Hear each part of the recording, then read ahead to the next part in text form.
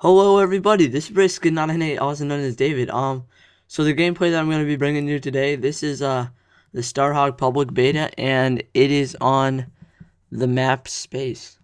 Um, so if you guys don't know what Starhawk is, it's pretty much, it's supposed to be a sequel like Warhawk, but in my opinion, it's not that similar. And today, this video, I'm pretty much just going to be talking about the pros and cons. Um, so starting off with the build and battle thing that you just saw me do there, you can like build structures and then use them. Uh, this is a sniper tower, for example. Um, the pros to this is that like, if you're being shot at, you can just build a bunker and get some weapons, or you can like build a wall to cover you, and it it lets you like take a lot more evasive maneuvers, I guess you could say. But um, the cons that I think is that the structures seem to get destroyed really easily to me. Like I'm on the sniper tower looking for someone to snipe in this bunker, and they shoot like one rocket launcher, and there you see it.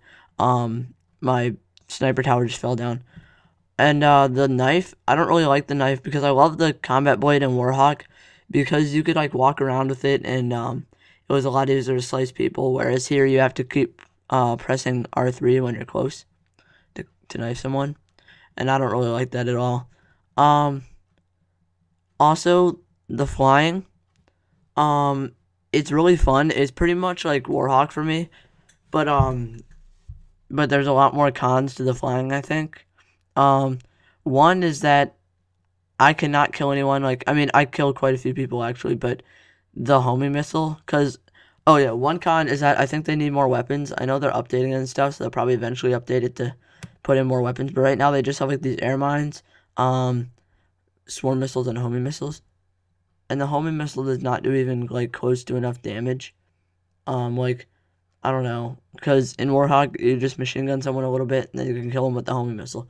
This one it seems like it's a lot easier to swerve out of it and doesn't kill them as easily, so that's kind of annoying. Um, also, the health like I don't know, but I can't find the health bar, so I never know how close my plane is to dying, except for like seeing how far it is on fire, and I don't know. It feels like it has really little health because I'll get hit by like two or three swarm missiles, or two or four swarm missiles, and then I will be like dead. Also, the sniper, it's really good, but it seems to take two hits per person, which is a load of crap. Because Warhawk, my favorite thing was the sniper, and it was really easy to kill someone because it was one hit every time.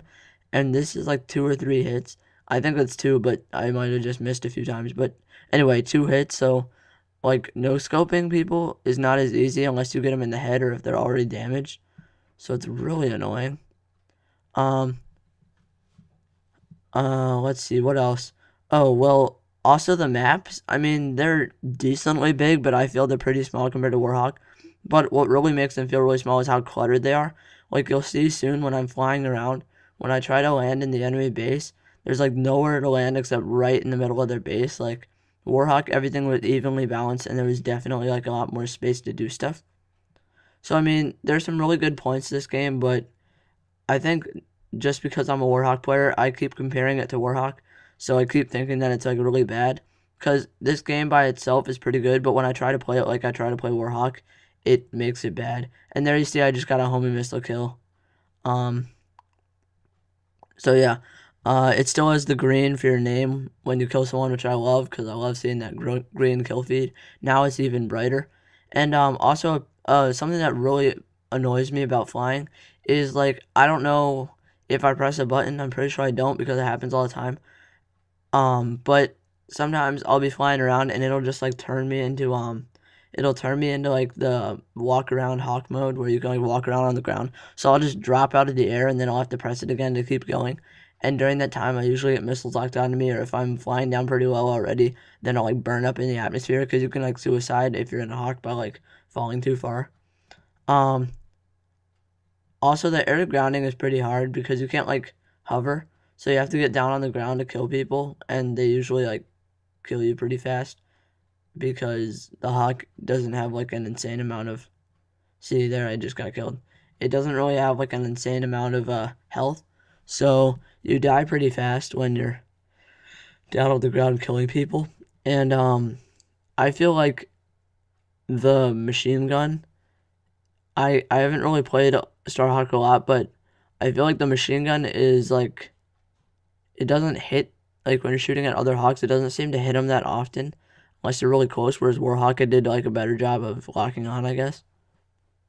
And um, so yeah, I definitely wish they had more weapons throughout the um throughout the map. And it's really cluttered when you try to land anywhere.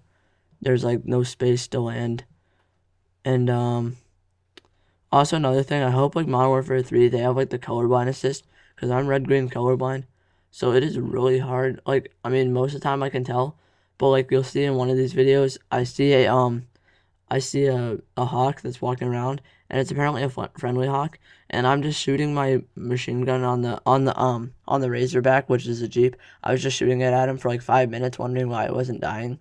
So I hope they have like an option where you can turn on colorblind assist where it like makes like really like different colors. I can't remember what the one color is called, and then the other one's like neon yellow. so that way you can actually tell. See, the air grounding is pretty easy if you have a homing missile. You just shoot a homing missile at them and use some uh, machine guns. And these turrets are really annoying because there's just a lot of them. But the beam turrets uh, probably annoy me the most. And um, so yeah, as far as the Razorback goes, it's pretty much just like the Jeeps from Warhawk.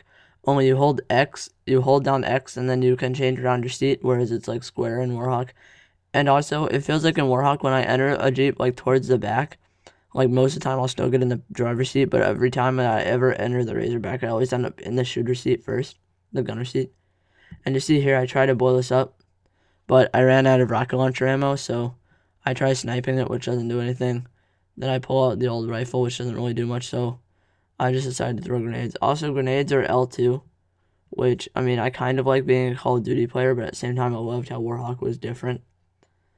Um, so yeah, overall, I'd say Starhawk is really fun.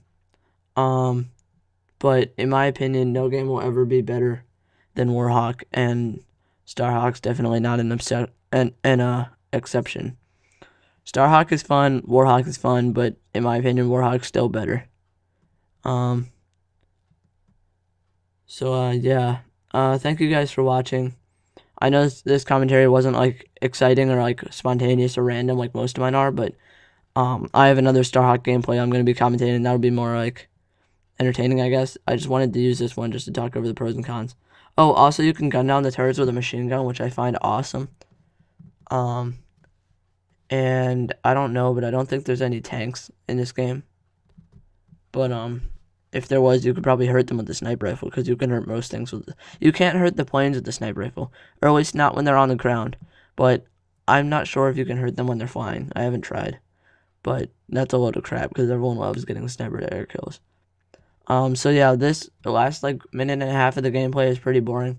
I was just trying to kill someone in their base, but that's friggin' beam turret right there. Also, whenever they're in their bunker like that, I can never seem to hit them. Like if I shoot at them, it doesn't seem to like do any damage. Um, so yeah, the two hit sniper really annoys me. Cause that that was one of my favorite things in Warhawk and I hate how it takes two hits. So um yeah, thank thank you guys again for watching. Um I know that I'm not one of the first ones to do Starhawk videos, but hopefully it's new enough that I'll get some new viewers. Because not everyone has Starhawk videos, whereas a lot more people have Warhawk videos. Also, I'm doing some Call, of Duty Modern Warfare 3 commentary soon because I've been playing for a couple days and I got some really good game saves. So I really want to commentate some of those. Um. All right, so yeah. Uh, so you see there we won. I got some cool little award things, um, which gave me like extra bonus points. I guess I'm like almost a level three now. Um, because I played some other games I didn't record. And in a second here, I think I'll go to the scoreboard and show you my score. On the second game, I accidentally hit return to homeworld, so I don't know what my score was. So my overall score was 8 kills in 3 days. Alright, well, thank you all for watching. Bye!